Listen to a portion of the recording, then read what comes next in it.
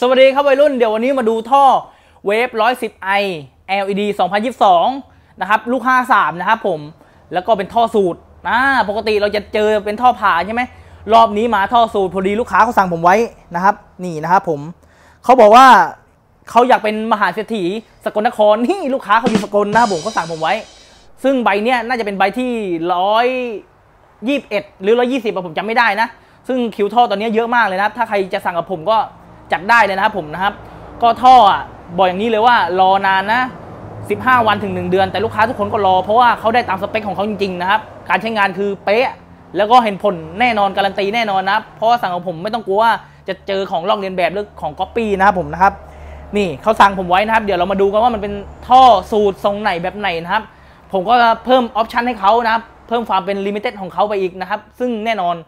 คุณสั่งท่อผม คุณไม่มีแค่ใบเดียวอะที่ว่า มันแหมมันมันดูมีคุณค่าไง ไม่ใช่โหลๆทั่วไปนะครับ เดี๋ยวมาดูกันนะครับ ก่อนอื่นก็ฝากไลค์ฝากแชร์ด้วยนะครับผมใครอยากได้ความรู้เพิ่มเติมหรือสาระความรู้แบบรวบรัดวิดีโอเดียวจบรู้เรื่องตามสไตล์ผมก็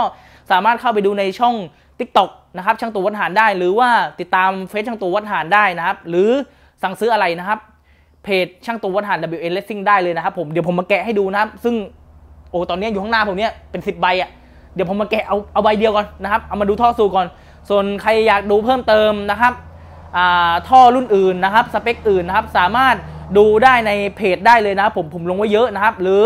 ถ้าใครอยากดูวิดีโอเก่าๆก็ดูได้ใน TikTok หรือว่าใน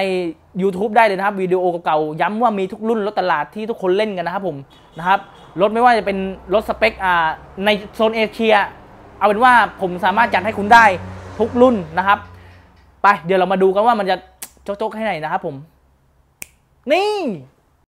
A few moments later. โอ้ย ดูแพคเกจจิ้งโคตรเท่เลย เอ้เป็นไงล่ะ แดงสายสีนะครับ ซึ่งเดี๋ยวจะมีคำถามอีกว่า พี่เอาวแล้ว แล้วทำไมบางคนได้เป็นกล่องน้ำตาล ก็คือเป็นกล่องสีน้ำตาลแบบนี้ของพี่แดงสายสีไหมผมจะบอกอย่างนี้ว่าถ้าเป็นท่อสูตรอะ ส่วนใหญ่จะได้ท่ออาจะได้กล่องท่อแบบนี้นะครับ แต่ถ้าเป็นท่อผ่ามันจะยาวใช่ไหมครับ มันจะเป็นต้องเป็นกล่องหนากล่องใหญ่นะครับ ซึ่งมันเป็นกล่องสีน้ำตาลนะครับอ่าเดี๋ยวเรามาแกะกันดูข้างในนะครับแหมหัดดีดนิ้วยังไงดีดให้มันดังอะ ใครมีแนวทางการดีดนิ้วช่วยคอมเมนต์หน่อยนะครับผม เดี๋ยวผมมาแกะให้ดูนะครับ พอดีลูกค้าเขาก็เขาชอบโชว์ซะด้วยดินะครับเขาบอกพี่อย่าลืมทำวิดีโอให้ผมนะนะครับ เดี๋ยวผมมาแกะให้ดู A few moments later. เรามาแกะดูงานท่อนะครับผมนะครับ อันนี้ก็เป็นคอท่อนะครับผม เดี๋ยวเรามาแกะดูกัน ก็คือจะเป็นท่อสูตรนะครับ ผมไม่ใส่พักเท้าหลังนะครับ ที่ลูกค้าเขาสั่งนะครับนะครับ ก็คือผมการันตีให้เลยว่าถ้าสั่งที่ผมนะครับผมผมรับประกันได้เลยว่าคุณจะได้ตามสเปคของเครื่องยนต์แน่นอนนะไม่ไม่แบบว่ามั่วสเปคแน่นอนนะครับ เพราะว่าถามว่าถ้ามั่วสเปคอะมันวิ่งได้ไหมมันใส่ได้ไหมได้ แต่ว่ามันจะไม่ส่งผลประสิทธิภาพของมันได้ร้อยเปอร์เซ็นต์นะครับ เพราะมันไม่ตรงตามสเปคเป๊ะๆของเครื่องยนต์เรานะครับ หรือการใช้งานของเราอ่านะครับ อันนี้ก็นะครับผมจะเป็นงานคอท่อ เดี๋ยวเรามาแกะกันนะผมนี่นี่ก็จะเป็นปลายท่อนะครับผม เดี๋ยวผมมาแกะเลย จริง ๆ แล้วผมก็อยากรีวิวให้เหมือนเมื่อก่อนนะพวกเมื่อก่อนผมจะรีวิวทีหลายๆสิบใบเลยนะครับวิดีโอหนึ่งแต่ว่ามันเยอะไง ซึ่งมันโอ้โหไม่ไหวจริงๆมันท่อมันหนักนะครับผม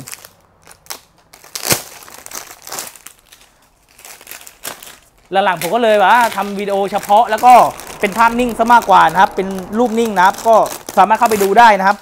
จะได้เห็นได้ชัดกว่า นี่นะครับ ก็คือสิ่งที่ได้นะครับผมแน่นอนนะครับ จะมีนี่คือสายคองแมทนะครับผมของพี่แดงนะครับ สายซีนะครับ แล้วก็มีพวงแจสติกเกอร์พี่แดงให้สองสองอันนะครับผมนะครับ แล้วก็มีสติกเกอร์ของช่างโตให้ด้วยนะครับรับประกันว่าของแท้แน่นอนนะครับ มา ตัวนี้ตัวนี้ก็จะเป็นสายยึดนะครับผมนะครับสายรัดท่อนะครับ ตัวนี้นะครับรัดปลายท่อนะครับ แล้วก็มีสปริงให้ 3 ตัวนะครับนะครับ แล้วก็มีอลูมิเนียมตรงนี้นะครับ แดงๆนี่ก็คือที่จับท่อนะครับนะครับ เพราะว่าลูกค้าไม่ไม่ได้ใส่พักเท้าหลังนะครับ แต่ถ้าใครจะสั่งแบบใส่พักเท้าหลังก็ได้นะ แล้วแต่จัดได้หมดนะครับผมจะใส่พักเท้าหลังเหมือนเดิม หรือว่าจะไม่ใส่เป็นท่อทรงเชงหรือแข็งก็ได้นะครับผมนะครับ เดี๋ยวเรามาแกะดูงานคอท่อด้วยนะครับ ตัวนี้กลายเป็นมันกลายเป็นกระแสไปเลยว่าเฮ้ยตอนเนี้ยถ้าสั่งท่อแดงสายสีหรือสั่งจากช่างตู่อะต้องต้องย้ำว่าเป็นสเปคของช่างตูนะ ก็คือแบบว่ามันจะได้ความเป็นลิมิเต็ดก็คืองานคอท่อนะครับผมนะครับ งานคอท่อของคือผมเป็นคนคิดและคิดคิดมาแล้วว่าว่าน่าจะทำแบบนี้น่าจะดีนี่เห็นไหมเดี๋ยวผมจะทำภาพนิ่งให้ด้วยนะครับ ดูดินะครับ จะมีการคอท่อการเชื่อมนะครับ ผมโอ้โห อันนี้คือป้ายท่อมันะครับ เป็นการตัดเลเซอร์นะครับ แล้วก็อาร์คไว้นะครับ เป็นป้ายแดงสายสีนะครับ ตัวนี้นะครับ โอ้โหนึ่งท่อนนะผม เดี๋ยวมาดูอีกท่อนหนึ่ง เราก็สดๆ เรียวๆ เลย นี่ อันนี้ก็จะเป็นคอท่อท่อนที่สองนะครับ ต่อจากอ่า คอท่อที่ออกจากทางเดินไอไอเสียนะครับผม จะต่อมาทางนี้นะครับผม นี่มันมีการคดเคี้ยวด้วยเห็นไหมมันจะไม่ตรงๆทื่อๆนะครับนี่ไหมมันจะมีการโค้งรับจับกับตัวรถนะครับผม นี่พอเราใส่มันก็จะอยู่ประมาณนี้ นี่นะครับผมส่วนสปริงที่ผมบอกเมื่อกี้มันก็จะยึดตรงนี้ใช่ไหมนะครับ ดูดีนะ งานคอท่อ มันจะไม่ตรงๆทื่อๆ มันจะมีความโค้งเห็นไหมความโค้งความเอียงรับของมันนะครับ ซึ่งมันจะเป็นการหลบนะครับผมนะครับ โอ้ซึ่งมันสวยมากนะครับผมนี่นะครับ มีการเชื่อมนะครับ การดามอะไรตามสไตล์เลยนะครับผมนะครับ เชื่อมป้องแล้วดามไว้กันแตกหรือกันเวลาเราใส่รถเนี่ยเวลาเราวิ่งมันอาจจะสั่นหรือว่าถนนมันไม่เรียบมันอาจจะสั่นมันอาจจะทำให้คอท่อเราขาดได้นะครับ จะมีการอาร์การดามไว้หมดเลยนะครับผมกันตรงนี้ไว้นะครับผมนี่เห็นไหมยิ่งเรามีจุดที่ว่าเป็นเชื่อมป้องเนี่ยนะครับ เชื่อมเพื่อเพื่อความสวยงามนะครับผมนะครับเพื่อความสวยงามอย่างหนึ่ง แล้วก็ยังมีการดามไว้เพื่อกันแตกนะครับผมหรือว่ากันคอท่อขาดโอ้คือเซฟทุกอย่างนะครับผม นะครับ เดี๋ยวมาดูปลายท่อกัน ลูกค้าเขาสั่งผมไว้เนี่ยนะครับผมผมจดไว้ตามสเปคเลยนะครับ ท่อสูตร 110 i LD 2022 ลูก 53 นะครับ ลูก 53 มิลไส้แป๊บ ปลายสีดำจุกเลเซอร์ นี่ผมเพิ่มจุกเลเซอร์ให้เขาอีกนอกจากว่างานเชื่อมป้องคอท่อตรงนี้นะครับ ตรงนี้ถ้าลูกค้าไม่เอาเชื่อมป้องนี้ก็ได้นะ แต่ราคามันจะถูกกว่า พอเราเชื่อมป้องนี้ราคามันก็จะแพงกว่านะครับผมนะครับ นี่ แล้วก็ ปลายสีดำนะครับ ไม่ใส่พักเท้าหลัง เดี๋ยวเรามาแกะดูกัน ลูกค้าสามารถสั่งได้หมดแล้วนะจะเป็นท่อผ่านะครับ ลูกเดิมผ่ามกผ่าเปิดผ่าดัน ไอผ่าดังผ่าแพร่หรือว่าอะไรก็แล้วแต่นะครับสั่งเราได้หมด เราจัดให้ตามสเปคนะครับผลงานก็รู้ๆกันอยู่แล้วนะครับ การันตีให้อยู่แล้วนะครับ นี่เดี๋ยวแกะให้ดู ซึ่งทำไม ช้ปลายดำกันเยอะนะครับผม เพราะว่ามันดูเรียบหรูไง มันดูเรียบเรียบๆดูแบบสะอาดตาแล้วก็ดูดูดีอะนะครับ ถ้าเป็นปลายสีอะมันอยู่ที่การแต่งรถเราด้วยแหละ เราชอบเป็นคุมโทน คุมโทนดำดูแบบเรียบๆดูแบบไม่มีอะไรหรือว่าเราชอบแบบฉูดฉาดก็แล้วแต่สไตล์รถสไตล์การแต่งรถไม่มีผิดมีถูกนะครับ นี่โอ้ยสวยมาก นะครับนี่มาแกะดูกันปึ๊บ นี่เห็นไหมตัวท่อนะผมจะมีปั๊มตรงนี้ครับเขียนว่าแดงนะครับ ข้างล่างเขียนว่าสายสีนะครับผม และดูงานท่อตัวนี้จะเป็นจะเป็นสีดำนะครับดำเงานะครับ นี่ดำมันมันเงาเงาแบบนี้นะครับ แล้วก็ที่ผมเพิ่มให้ลูกค้าก็คืออะไรรู้ไหมครับ คือป้ายตรงนี้ นี่เลเซอร์ว่าแดงสายสีโอ้โคตรรอเลยนะครับ ผมเป็นจุกนี้นะครับ จุกตรงนี้มีกึ่งตรงนี้ด้วยนะครับ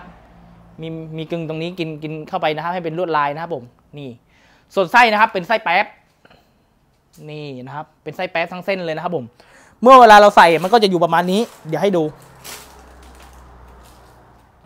หล่อเกินนะครับ เดี๋ยวให้ดูเดี๋ยวให้ดูเดี๋ยวแป๊บนึงนะครับ นี่ มันจะอยู่ตรงนี้ นี่นะครับ หล่อไหมล่ะ ขออภัยนะครับของมันลกไปหน่อย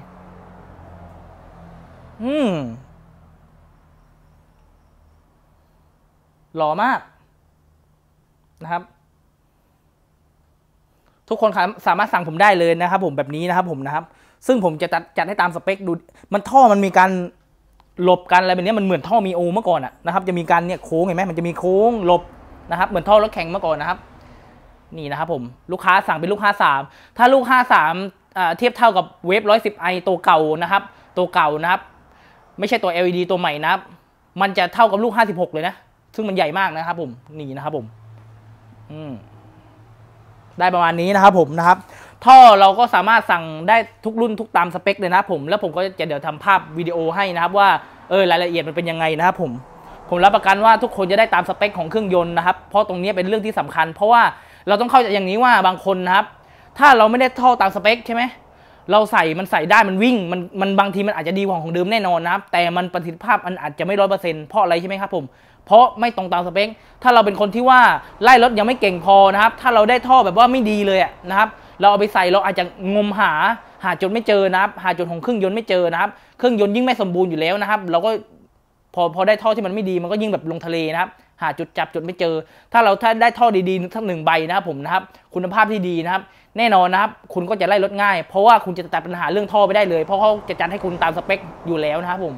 นี่สามารถสั่งเข้ามาได้นะครับผมที่มันนานนะไม่ใช่เฉพาะของในประเทศนะครับผมต่างประเทศเขาก็ใช้นะครับผมท่อแดงสายสีนะครับมันอาจจะนานหน่อยนะแต่คุณได้ท่อแล้วคุณก็ต้องยิ้ม ทุกคนก็ต้องคิดเหมือนทุกคนที่ลูกค้าที่สั่งผมไปอะเขาก็ได้เสียงตอบรับมาเหมือนเดิมเหมือนเหมือนทุกคนว่า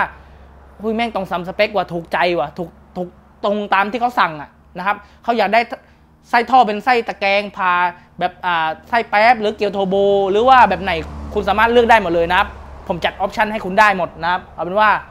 จัดไปวัยรุ่น โจ๊ะโจ๊ะ